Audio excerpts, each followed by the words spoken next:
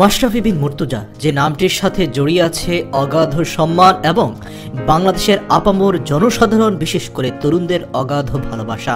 এই নামটি কখনো কোনো রাজনৈতিক দলের সাথে যুক্ত হোক বা এই নামটির সাথে কোনো রাজনৈতিক ট্যাগলাইন যুক্ত হোক, আওয়ামী লীগ, বিএনপি, জাতীয় পার্টি, জামাত, শিবির, যাই কিছু হোক না কেন, কোনো কিছু যুক্ত হোক, তা নিশ্চয়ই বাংলাদেশের ষোলো কোটি মানুষ কখনোই চাইবেন না। কিন্তু খুব সম্প্রতি বাংলা ইনসাইডার থেকে একটি সংবাদ আমাদের হাতে এসে পৌঁছেছে।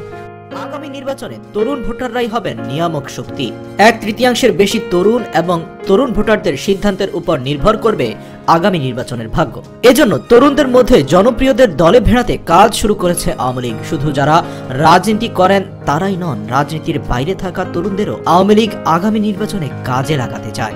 রাজনীতি করে এমন দুজন তরুণকে আওয়ামী লীগে টানার জন্য কাজ শুরু করেছে দলটি, এজন্য কয়েকজনকে দায়িত্ব দেওয়া হয়েছে। এদের মধ্যে আন্দালিব রহমান পার্থ, যাকে কিনা আওয়ামী লীগে নেওয়ার জন্য তোড়জোড় শুরু হয়ে গিয়েছে। তিনি যদিও আওয়ামী লীগ পরিবারের সদস্য, কিন্তু বিএনপি সমর্থক।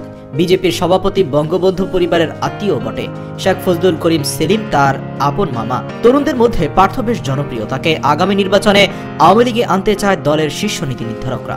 এজন্য পার্থের সঙ্গে কথা বলার জন্য দুজনকে দায়িত্ব দেওয়া হয়েছে। তরুণদের মধ্যে আরেক জনপ্রিয় রাজনীতিবিদ বি মাহি চৌধুরী। মাহি বর্তমানে তার পিতার রাজনৈতিক সংগঠন বিকল্প ধারার নেতা। দু হাজার এক সালে নির্বাচনে জয়ী হবার পর সে সময় বিএনপিতে থাকা মাহিন নতুন রাজনৈতিক সংস্কৃতির সূচনা করতে চেয়েছিলেন। আওয়ামী লীগ সভাপতি সে সময় তার নির্বাচনী এলাকা সফরে গেলে মাহি তরুণ দিয়ে তাকে অভ্যর্থনা জানিয়েছিলেন। একাধিক সূত্র নিশ্চিত করে মাহির সঙ্গে আওয়ামী লীগের কথাবার্তাও চলছে। এদিকে গুরুত্বপূর্ণ তরুণ সমাজের মধ্যে সবচেয়ে জনপ্রিয় যে ব্যক্তিটি তিনি হলেন জাতীয় ক্রিকেট দলের অধিনায়ক মাশরাফি বিন মুর্তুজা। মুর্তুজার পরিবার বাম রাজনীতির সঙ্গে জড়িত। কখনোই বিএনপি বা জামাত কেউই করেননি। আগামী নির্বাচনে অংশগ্রহণ না করলেও মাশরাফিকে আগামী নির্বাচনে প্রচারণায় কীভাবে কাজে লাগানো যায় সেটা নিয়ে কাজ করছে আওয়ামী লীগের নির্বাচন পরিচালনা কমিটি। কারণ তারা খুব ভালো করে জানে মাশরাফিকে কোনোভাবে ফেস করানো গেলে সে অঞ্চল এমনকি পুরো বাংলাদেশের ষোলো কোটি মানুষ থেকে একটা বিশাল সফট কর্নার যারা রয়েছে, তারা হয়তোবা আওয়ামী লীগকে ভোট দেবে। শুধু মাশরাফি বিন মুর্তুজা নয়, তরুণ ভোটারদের আকৃষ্ট করতে আওয়ামী জনপ্রিয় ক্রিকেটার, অভিনেতা, সংগীত শিল্পীদের সঙ্গে যোগাযোগ শুরু করেছে।